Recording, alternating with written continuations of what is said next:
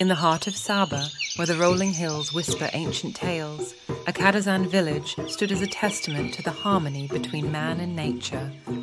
The villagers, renowned for their lush rice fields, believed in a sacred balance upheld by Bambazon, the benevolent rice spirit.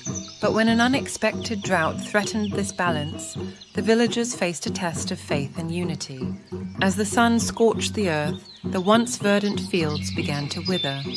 The villagers, seeing their livelihoods wilt before their eyes, were gripped by a growing sense of dread. This crisis served as the inciting incident, shaking the foundations of their beliefs and livelihood. For generations, the villagers had thrived under the watchful eye of Bambazon.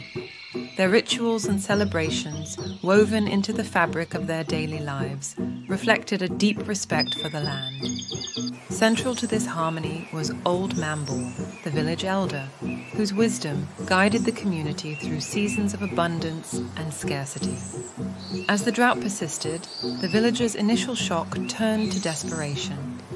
They questioned their practices and the benevolence of Bambazon. Old Mambal, sensing the growing despair, called for a meeting.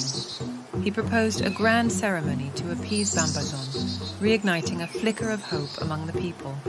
However, doubts lingered, and the community's unity began to fray.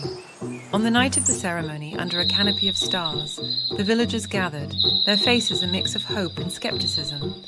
As they danced and offered prayers, a miraculous sight unfolded. Bambazon appeared, a radiant figure amidst the dying fields. Her presence was the critical narrative twist, a physical manifestation of the villagers' faith and collective will. Bambazon's touch revived the fields, turning them lush and green. The villagers, witnessing this miracle, were overcome with joy and relief. They realized that their unity and respect for the traditions were the true keys to their prosperity. As the story concludes, the reader is left with a lasting impression of the power of faith, community, and respect for nature.